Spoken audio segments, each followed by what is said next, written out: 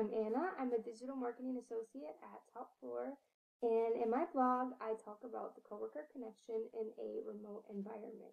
So, as I'm sure we're all aware by now, the work environment has seen some pretty big changes over the last year or so.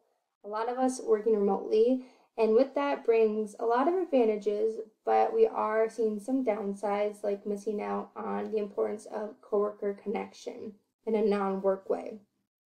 So, with most of my company working from home, we wanted to find a way to still have those casual conversations, also known as water cooler conversations, um, that happen naturally when in a shared space.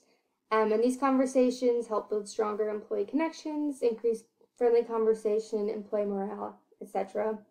Um, so here at Top Floor, we have found a few ways to facilitate these water cooler conversations virtually. So to learn more about that and the other ways we have found helpful, you can read more in the blog link below.